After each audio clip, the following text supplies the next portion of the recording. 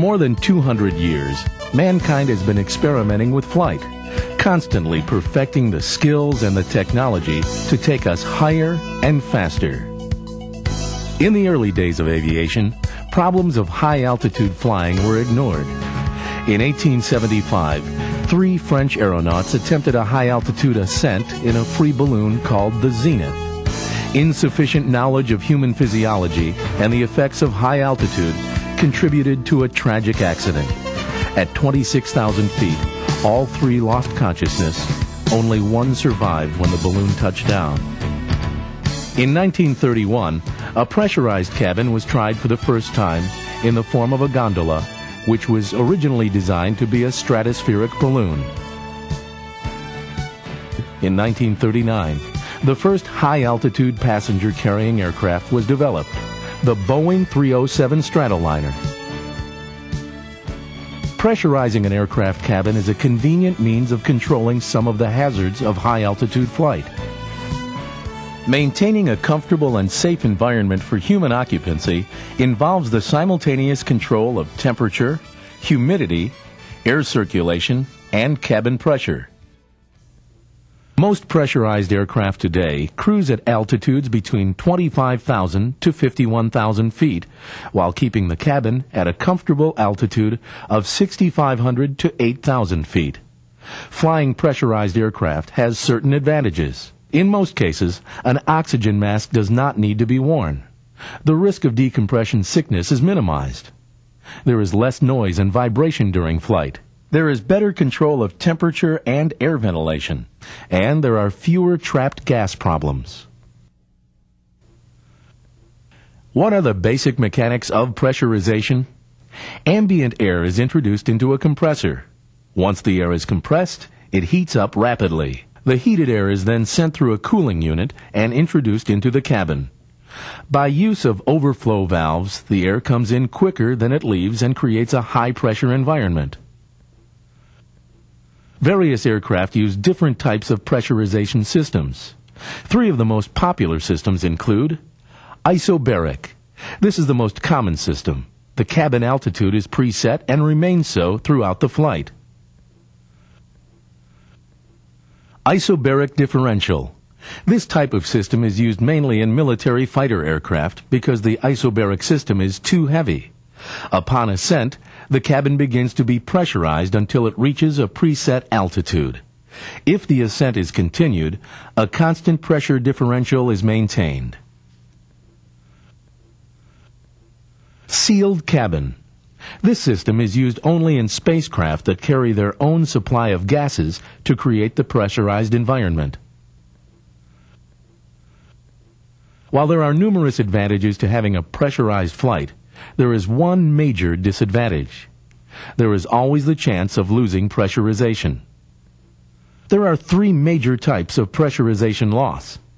Slow decompression, when the cabin loses pressurization during a time interval greater than 10 seconds.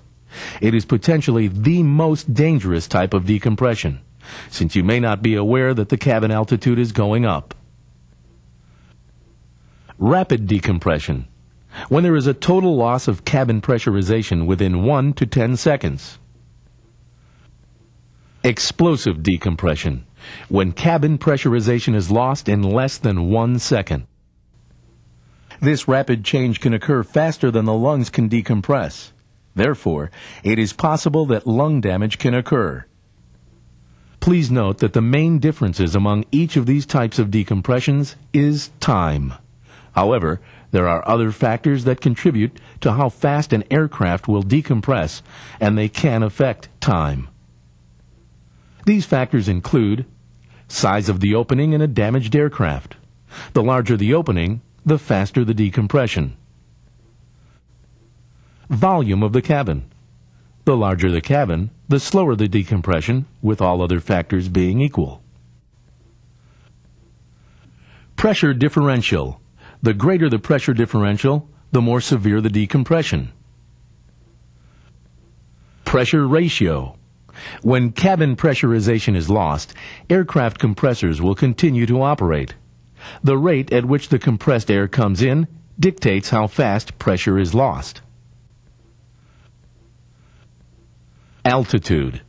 The greater the altitude when the decompression occurs, the more severe the physiological effects. Physical characteristics of a rapid decompression can cause the pilot operational problems. For example, noise from a decompression can range from a hissing to a very loud explosive sound. Operationally, there can be a disruption in communication. Fog will form with a decrease in both temperature and pressure associated with decompression. Visual operations may be affected. Pilots have also mistaken fog for smoke in the cockpit. Flying debris will move towards the opening and could cause injury. Pilots and passengers not using their seatbelts have been known to involuntarily exit the aircraft. Dust and dirt may cause visual problems. Cooler temperatures will occur as the pressure or air departs the cabin. Frostbite and hypothermia can occur. In addition to the physical effects, there can be physiological effects from a decompression. The middle ear, sinuses, and digestive tract contain gases that will expand with decreasing pressure. Decompression sickness can occur due to the nitrogen in the body coming out of solution and forming bubbles. The colder temperatures at altitude can cause hypothermia, a problem previously mentioned under operational issues. With the rapid decrease in partial pressure of oxygen, there will be an oxygen deficiency in the blood leading to hypoxia. The emergency could produce an increased rate and depth of breathing, causing hyperventilation. Each of these problems has a separate training module available if you need further explanation. If you experience a decompression, you should use the following procedures. 1. Don your oxygen mask. You should be able to do this in 5 seconds or less. Check to make sure the air is flowing 100% in your mask. 2. Maintain aircraft control. 3. Descend to a lower altitude, preferably 10,000 feet or below. 4. Land the aircraft as soon as possible and, if needed, obtain appropriate medical help from someone who is familiar with aviation physiology.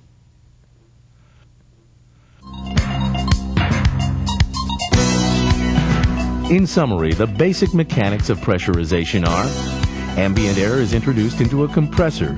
The air is compressed, it heats up, and is then cooled. The air is then introduced into the cabin where overflow valves control the air to create a high pressure environment.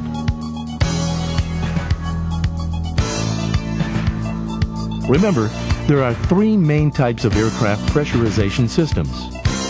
Isobaric, where the cabin altitude is preset and remains so throughout the flight. Isobaric differential. This one is mainly used in military aircraft. Upon ascent, the cabin begins to be pressurized until it reaches a preset altitude. If the ascent is continued, a constant pressure differential is maintained. Sealed cabin, used only in spacecraft.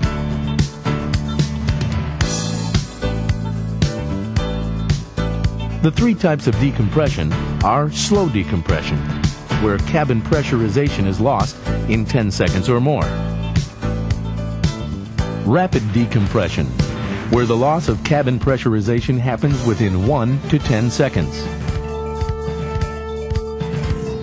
Explosive decompression. Cabin pressurization is lost in less than one second.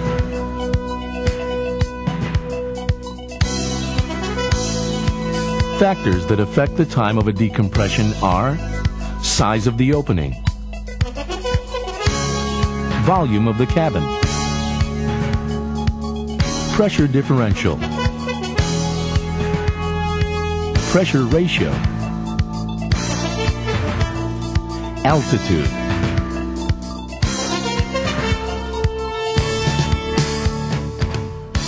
The kind of physical characteristics you can expect from a rapid decompression are noise,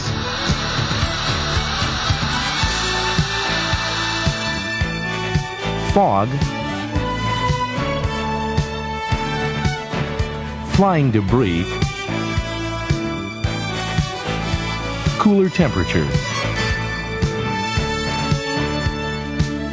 The physiological effects of a decompression are trapped gas expansion, decompression sickness, hypoxia, hyperventilation,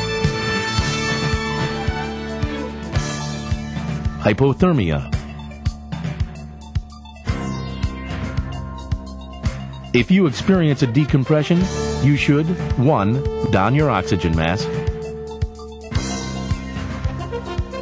2. Maintain aircraft control. 3.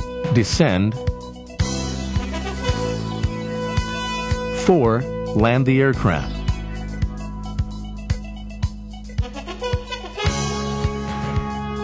The bottom line is, know your aircraft. Be sure to pre-flight your oxygen equipment.